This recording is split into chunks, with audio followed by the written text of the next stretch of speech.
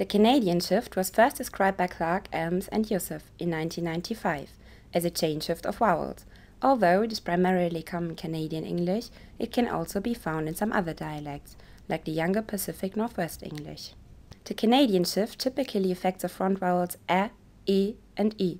However, whereas the lowering and retraction of the tongue in short a is an undisputed feature of the Canadian shift, the lowering of e and e is controversial.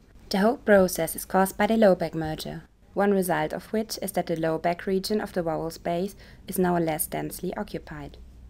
This again allows the low front vowel to retract to a low central articulation. Examples can be found in words like pack, where we can see a lowering and retraction to r, resulting in park.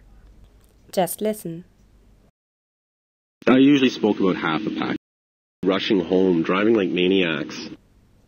The Canadian shift is somehow opposite to the Northern Cities shift, where the low back R advances to a low central position.